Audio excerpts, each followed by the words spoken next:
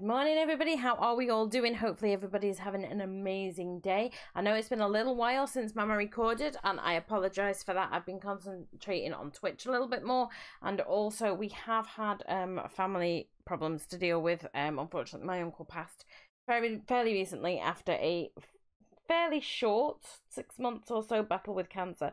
So we have been dealing with that. Today is a completely different type of video for me because I have been dabbling with ant keeping for a while. Um, inside here is my new queen. I um I got a harvester ant probably a few years ago and I think I kind of messed up the hibernation thing and she ended up passing over the winter. Um so we didn't do a very good job of that. I think maybe she got too cold or something like that. So what I have done is I have a heat map here or a heat pad um for her to to be sat on top of if it gets too cold what i wanted to do with you guys is just show you the little queen there she is you can just see her moving around and i will move her up for you i don't want to disturb her too much i have had her about a week um she's got some chia seeds in there because as you can see can, can we get you to focus no she does have one worker in there with her, and I have put some chia seeds in because we have got a worker who's going to need the protein and things.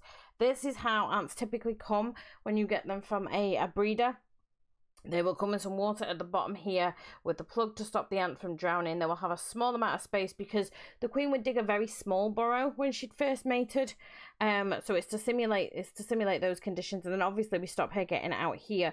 She will be moved to a bigger habitat once she has around 30 or so workers, maybe a little bit less. I'll probably move her into a bigger test tube at that point and keep her in the test tube for a little bit longer. What I want to know from you guys is what are we gonna call this queen? And I know this is a short video, but I am not used to filming this close up. My setup is obviously crap. But um, just what are we gonna call this queen? She needs a name. She is a harvester ant, so she she eats mostly seeds. And to start with, we have got the chia seeds. I got these from not sponsored Davy Ants in the UK.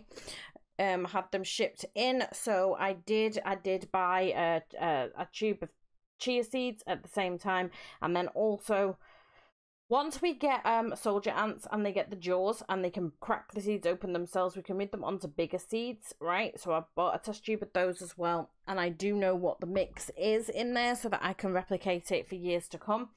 Um, but that amount of seeds will probably last them probably a good six months or even more because to start with, they're going to be a very small colony.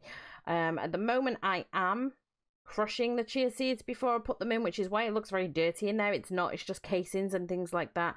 Um, when I move it to a bigger test tube, we will get that cleaned up, unless I think it needs cleaning beforehand, in which case we're going to have to move it to another test tube anyway while I clean up.